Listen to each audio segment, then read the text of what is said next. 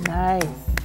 I guess you could be excused if you thought it was Girl Power Tuesday. Well, it isn't. well, that was uh, uh, Zoe on the flute, Rashane on the steel pan, and Kristen on the guitar as we welcome you to Smile Jamaica. It's morning time, the middle of the week.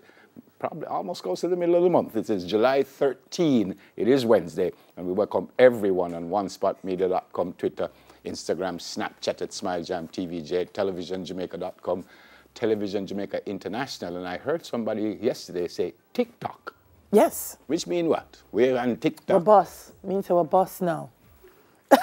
that mean me have to go up on TikTok? Yes, yes. Go do what?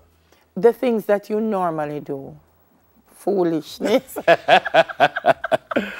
I hope you all had a great night, and I pray that you have an absolutely amazing day today.